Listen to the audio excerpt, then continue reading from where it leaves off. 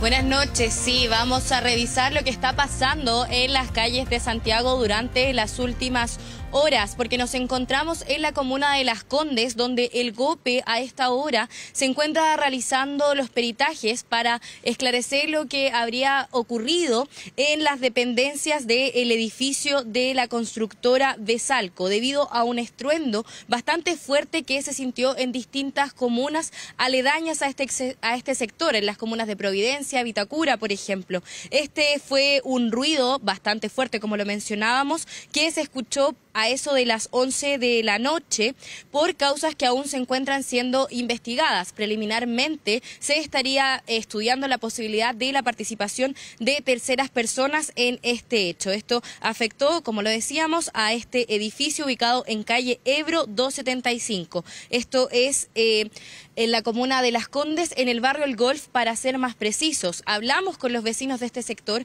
quienes nos entregaron mayores detalles y cómo ellos vivieron este hecho. Pasemos a escuchar sus declaraciones. Nosotros estábamos cenando y conversando y de repente escuchamos una explosión pero muy fuerte, como si fuera una explosión de gas.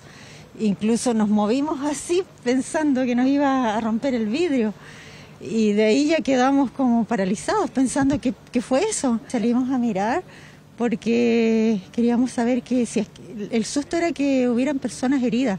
Eso era la, lo que, la preocupación.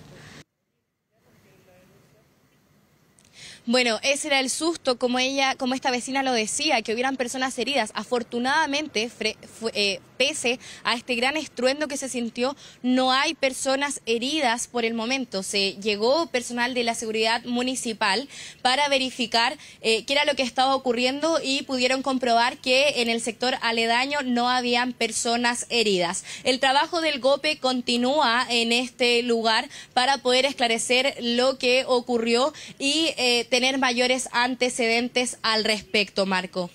Gracias, Yesenia, por este informe. Quedamos en contacto. Buenas noches. Buenas noches.